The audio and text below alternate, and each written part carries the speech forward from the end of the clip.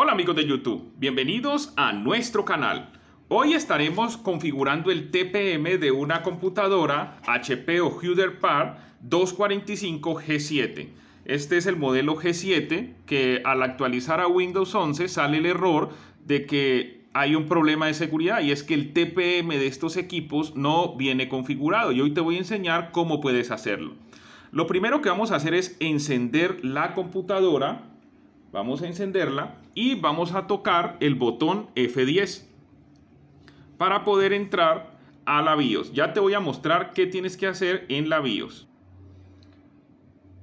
Ya que estamos en la BIOS, normalmente el sistema les va a aparecer en inglés. Entonces, ¿qué van a hacer? Van a desplazarse aquí donde dice configuración y aquí van a dar Enter. Sencillamente van a dar la tecla Enter y van a cambiar el idioma. Entonces le van a colocar español. Si hablan español, si hablan inglés o francés, también pueden configurarlo en el idioma que ustedes desean. Luego, si volvemos a seguridad, esto lo hago con las teclas guías del teclado, es muy sencillo. Entonces aquí encontramos el dispositivo TPM, dice disponible o activo. Normalmente en su computadora les va a aparecer así, oculto. Así va a aparecer normalmente en la computadora. Entonces, ¿qué van a hacer ustedes? Sencillamente van a dar Enter y le van a dar disponible. Y aquí les va a aparecer desactivado, así les va a aparecer. Pero ustedes qué van a hacer? Le van a dar enter y le van a dar activado. Entonces ya nuestro TPM está activo, o sea, nuestro sistema de seguridad está activo para que pueda proteger nuestro hardware. Igualmente ya nos va a permitir actualizar a Windows 11 sin ningún problema porque ya tenemos TPM activado.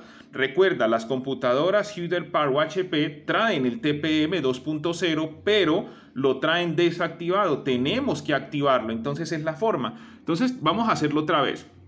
Recuerda, te va a aparecer de la siguiente manera. Deme un segundito. Te va a aparecer así. Aquí en esta parte ya te voy a mostrar cómo te va a aparecer. Te va a aparecer así cuando entres aquí a la parte de seguridad. Va a estar así. Dispositivo TPM oculto. Vas a dar Enter. Vas a subir con la tecla guía y le vas a dar disponible. Te despliega las opciones. Estado del TPM desactivado. Vas a dar Enter y le vas a dar a activado, enter.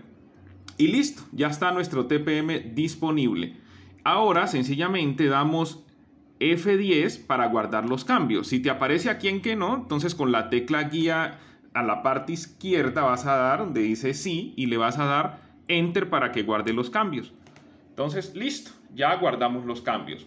No te olvides, RSC te ayuda para que lo hagas tú mismo en casa. No olvides suscribirte a nuestro canal, dar manito arriba y compartir este video con amigos y familiares. RSC.